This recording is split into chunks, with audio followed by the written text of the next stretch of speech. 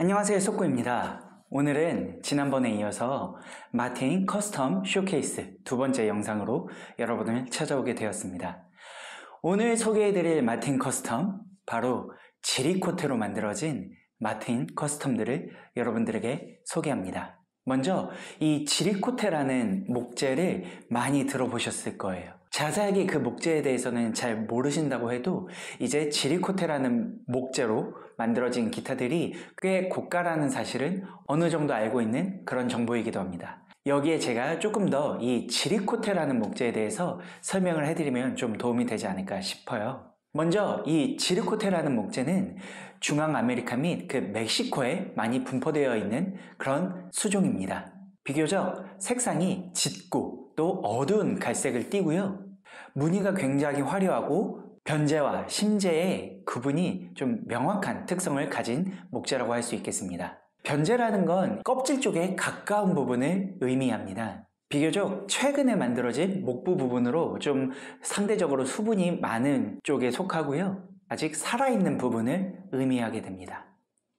그에 반해 심재라는 건 이제 그 나무의 중심이 되는 부분이라고 이해를 하시면 됩니다. 비교적 색이 짙어지고 단단한 부분을 이야기합니다. 이렇게 지르코테라는 목재는 심재와 변재의 구분이 좀 또렷한 편인데도 불구하고 기본적으로 목재가 갖고 있는 그 무늬 자체가 화려한 편이어서 어, 이두 부분을 같이 섞어서 기타에 적용하는 경우가 굉장히 많은 편이고요.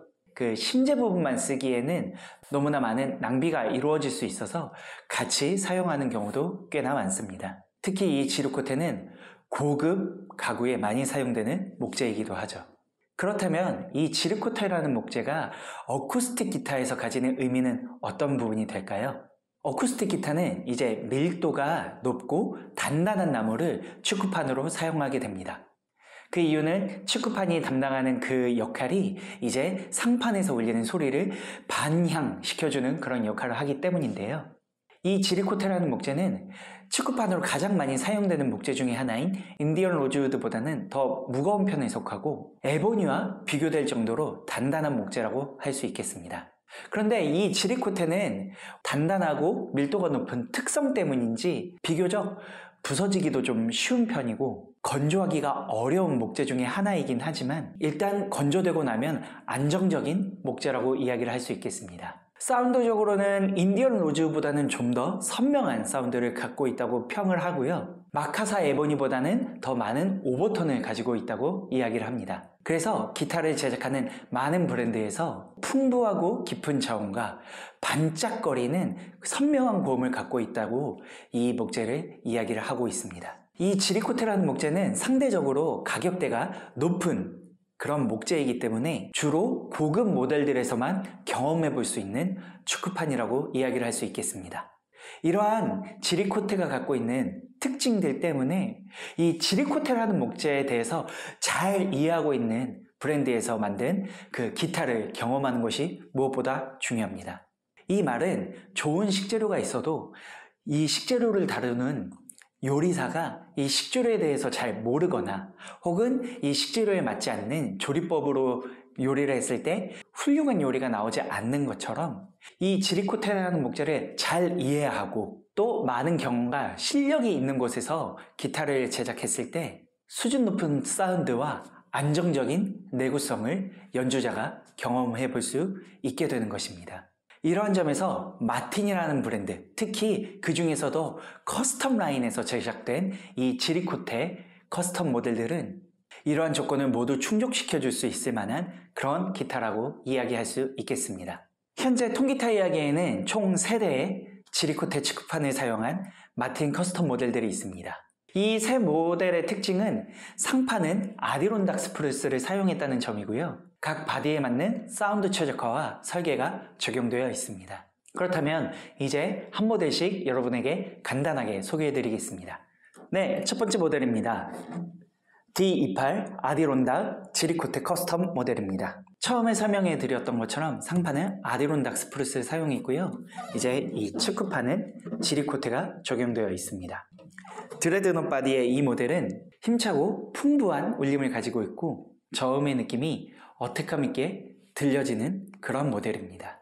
이 외에도 이제 body에 사용된 binding들 역시 목재로 꾸며져서 되게 woody한 디자인을 가지고 있는 것도 특징이라고 할 수 있겠습니다. 두 번째로 소개해드릴 이 모델은 이제 OM28 Adirondack ziricote custom 모델입니다. 역시 상판에 사용된 목재는 동일합니다. Adirondack spruce에 측후판은 ziricote가 적용되어 있죠.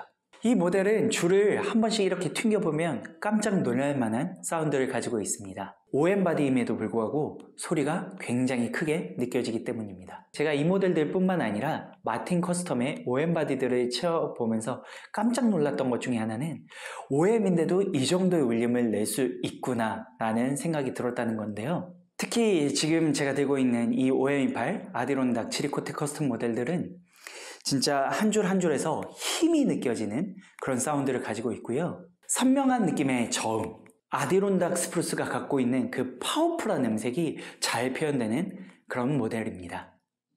네, 마지막으로 소개해드릴 이 모델, 바로 0000 M28 Adirondack ziricote custom 모델입니다. 이 모델은 이제 dreadnought과 OM의 좀 중간 형태의 사운드를 갖고 있다고 이야기를 해도 될 것 같습니다. 좀 전에 설명해 드렸던 것처럼 OM body도 꽤 큰 울림을 갖고 있어요. 하지만 똑같은 조건의 dreadnought보다 더 큰 울림이라고 이야기를 할 수는 없죠. 그런데 또 dreadnought은 body의 사이즈가 있기 때문에 상대적으로 불편하게 느껴질 수 있는 것도 사실입니다. 그런 분들에게 이 M body가 가장 적합하지 않을까 싶은데요. OM보다 조금 더 큰 사이즈로 큰 울림과 어, 확실한 음색을 가지고 있고 드레드넛보다 더 편안한 연주감을 갖고 있는 게 바로 이 모델이라고 이야기할 수 있겠습니다. 이 역시 아디론닥이 표현하는 강력한 파워풀한 음색 그리고 이 치쿠판 지리코트에서 느껴지는 선명하지만 묵직하게 힘있게 느껴지는 저음을 느껴볼 수 있는 모델입니다. 오늘은 이렇게 ziricote custom 세 모델을 여러분들에게 소개해 드렸습니다. 곧 이어 나올 간단한 사운드 샘플을 통해 한번 이 모델들의 소리를 들어보시고 그리고 조만간 찰스님과 함께 한 모델 한 모델의 상세한 리뷰로 또 찾아오도록 하겠습니다. 이 모델이 궁금하시다면 통기타 이야기 매장에 직접 방문해 주셔서 눈으로 확인하시고 귀로 확인해 보시는 걸 더욱 추천해 드립니다. 오늘의 영상은 여기까지고요. 다음번에 다른 영상으로 다시 찾아오겠습니다. 감사합니다.